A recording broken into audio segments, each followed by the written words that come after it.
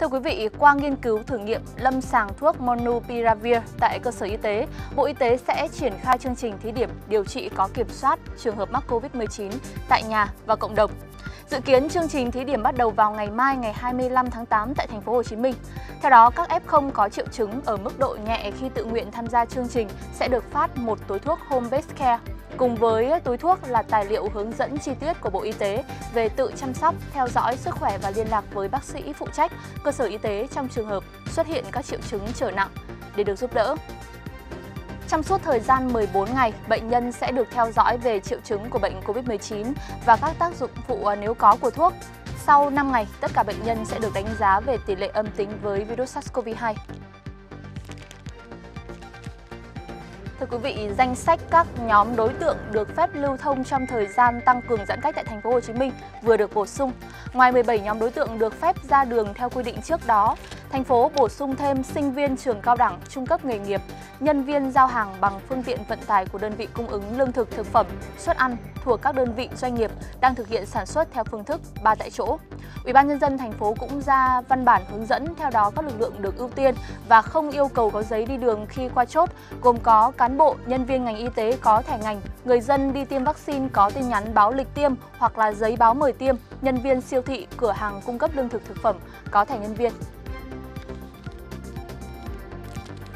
Ủy ban Nhân dân tỉnh Cà Mau đã quyết định thực hiện nguyên tắc chỉ thị 16 từ 0 giờ ngày 24 tháng 8 cho đến khi có thông báo mới trên địa bàn toàn tỉnh. Kể từ 19 giờ hôm trước cho đến 4 giờ sáng ngày hôm sau, người dân sẽ không được ra đường trừ trường hợp đặc biệt khẩn cấp hoặc là đi làm nhiệm vụ đã được quy định và không được di chuyển ra vào tỉnh Cà Mau.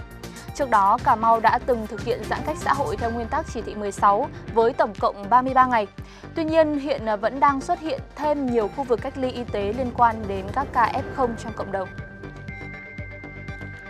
Mặc dù đã 20 ngày áp dụng giãn cách theo chỉ thị 16, nhưng thành phố Phan Thiết vẫn ghi nhận nhiều ca mắc mới trong cộng đồng. Chủ tịch UBND tỉnh Bình Thuận đã yêu cầu thành phố Phan Thiết tiếp tục tập trung lực lượng thực hiện nghiêm hơn, hiệu quả hơn các biện pháp phòng chống dịch. Yêu cầu người dân từ ngày hôm nay không đi ra đường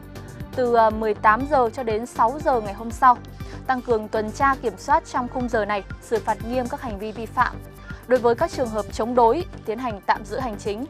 trong đợt dịch lần này, tính đến chiều ngày hôm qua, toàn tỉnh Bình Thuận đã ghi nhận 1.766 ca mắc COVID-19, trong đó có 20 ca đã tử vong. Thưa quý vị, Chủ tịch Ủy ban nhân dân thành phố Hải Phòng yêu cầu cơ quan chức năng điều tra và xử lý những người liên quan đưa trẻ từ thành phố Hồ Chí Minh về và dương tính với SARS-CoV-2. Đây là ca dương tính 8 tuổi vừa ghi nhận ở Hải Phòng sau 20 ngày không có ca cộng đồng. Công an thành phố Hải Phòng điều tra xác minh cháu bé ở phường Vĩnh Niệm, Lê Trân, Hải Phòng vào quận Tân Bình, thành phố Hồ Chí Minh cùng với bà ngoại từ dịp 30 tháng 4 mùng 1 tháng 5. Gần đây cháu bé được đưa về Nghệ An để gặp mẹ. Khoảng 2 giờ sáng ngày 22 tháng 8, cháu được gia đình đón từ Nghệ An về nhà ở Hải Phòng. Chiều cùng ngày, cháu được đưa đi làm xét nghiệm và có kết quả dương tính với SARS-CoV-2. Qua truy vết có 5 trường hợp F1 gồm có ông, bố, mẹ, chị gái và lái xe. Hiện à, mẹ cháu và lái xe xét nghiệm kết quả âm tính, ba trường hợp còn lại chưa có kết quả.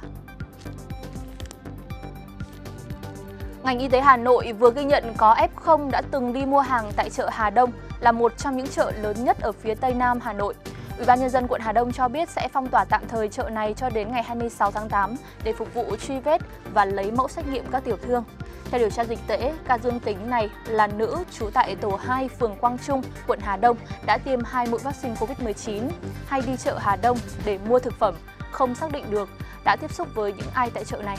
Ngày 22 tháng 8, người này được lấy mẫu xét nghiệm sàng lọc và kết quả dương tính với SARS-CoV-2. Cùng với ờ, chợ Hà Đông, quận Hà Đông cũng tạm thời phong tỏa và cách ly y tế hai tuyến phố là Nguyễn Thái Học và Trương Công Định do có yếu tố dịch tễ liên quan đến trường hợp dương tính với SARS-CoV-2.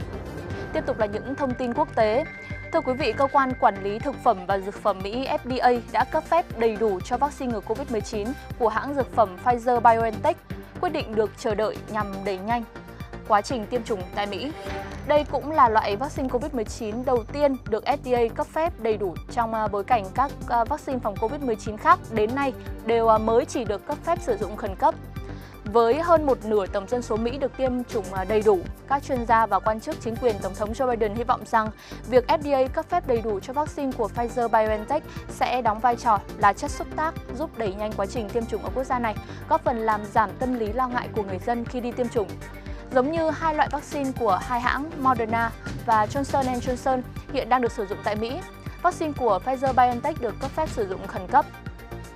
theo đó được sử dụng trong trường hợp khẩn cấp về sức khỏe cộng đồng nhưng vẫn phải hạn chế các chương trình quảng cáo hay là truyền thông.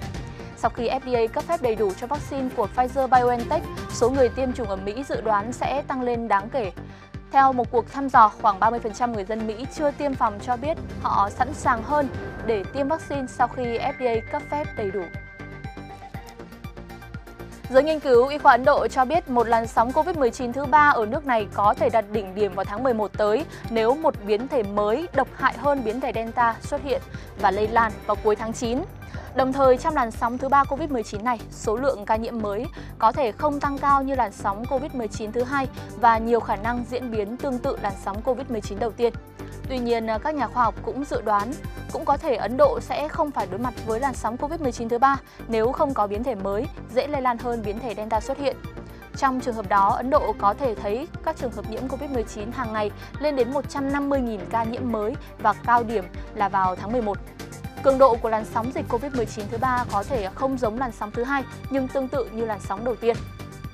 Bộ Y tế Ấn Độ cho biết tiêm chủng vaccine là vũ khí mạnh nhất trên toàn thế giới để chống lại dịch COVID-19 và hơn 580 triệu người đã được tiêm chủng tại Ấn Độ cho đến thời điểm hiện nay. Bộ Y tế Philippines cho biết đã ghi nhận hơn 18.000 399 ca mắc mới COVID-19 trong vòng 24 giờ qua, là mức cao nhất theo ngày kể từ khi dịch bùng phát tại nước này. Giới chức Manila cũng lần đầu tiên thừa nhận tình trạng lây nhiễm trong cộng đồng do biến thể Delta tại vùng đô thị Manila, bao gồm thủ đô Manila và 16 thành phố với hơn 13 triệu dân.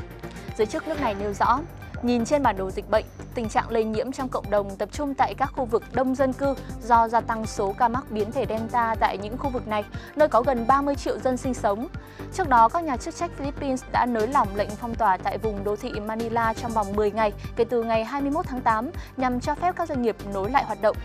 Theo giới chức sở tại, tỷ lệ lây nhiễm tại đây đã chững lại sau 2 tuần áp đặt lệnh phong tỏa nghiêm ngặt. Cho tới nay, mới hơn 4 triệu người, tương đương 43,5% dân số tại vùng đô thị Manila đã được tiêm vaccine đầy đủ. Còn tại Indonesia, nước này đã tiến hành nới lỏng các hoạt động các hạn chế hoạt động cộng đồng. Tổng thống Joko Widodo cho biết chính phủ nước này sẽ dần nới lỏng các quy định về việc thực hiện các hạn chế đối với các hoạt động cộng đồng cấp độ 4 do có sự cải thiện ở một số chỉ số. Việc mở cửa trở lại các hoạt động cộng đồng vẫn phải được thực hiện từng bước phù hợp với các quy trình y tế như xét nghiệm và truy vết cũng như triển khai tiêm chủng rộng rãi hơn. Theo đó, các cơ sở tôn giáo được phép hoạt động với tối đa 30 người, các nhà hàng được phép mở cửa với công suất phục vụ tối đa 25% sức chứa, một bàn với hai người và giờ mở cửa giới hạn đến 20 giờ. Các trung tâm mua sắm và trung tâm thương mại được phép mở cửa tối đa là 50% và được phép hoạt động đến 20 giờ hàng ngày. Ờ, thực hiện các quy trình nghiêm ngặt về sức khỏe do chính quyền khu vực quy định. Cũng theo Tổng thống Joko Widodo, đại dịch COVID-19 vẫn chưa kết thúc và một số quốc gia hiện đang trải qua đợt thứ ba với số ca mắc bệnh rất lớn. Do đó, Indonesia phải luôn cảnh giác để thực hiện các chính sách đúng đắn trong việc kiểm soát đại dịch. Chính phủ Nga thông báo ghi nhận hơn 19.500 ca mắc mới COVID-19, đánh dấu lần đầu tiên số ca mắc trong ngày dưới mức 20.000 ca trong vòng 2 tháng qua tại quốc gia này. Trong 24 giờ qua, Nga cũng ghi nhận 776 ca tử vong, nâng tổng số ca tử vong vì Covid-19 tại nước này lên hơn 176.000 ca. Thời gian gần đây, Nga đối mặt với làn sóng dịch bệnh mới với số, uh, số ca tăng mạnh mà giới chức nước này nhận định chủ yếu là do sự xuất hiện của biến thể Delta có khả năng lây lan mạnh hơn.